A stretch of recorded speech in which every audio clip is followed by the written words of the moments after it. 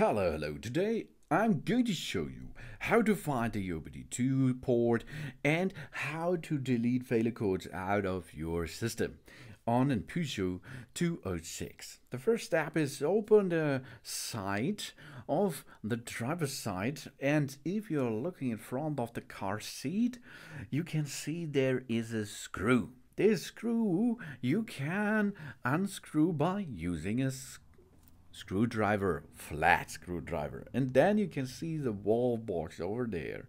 And on the left side, we can see in green the OBD2 port where we can dock in our OBD scanner. The first step with the scanner is on all devices, switch on the ignition. You do not have to start the engine, but switch on the ignition. And then the code reader will make the job. So you will enter into the diagnostics.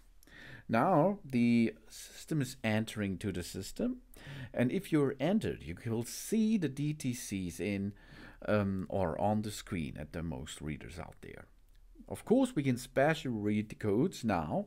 There uh, we can read current codes. In this case, we have a code, a P0638, throttle actuator control range performance. And if we now fix the problem, maybe you install a new part, you, you replace the part, you clean the part, you can look for pending codes. Pending codes are not right here in the scanner, but if you have mm. pending codes, they will detect over there and permanent DTCs. If we have a permanent DTC, it will show you on this setting here.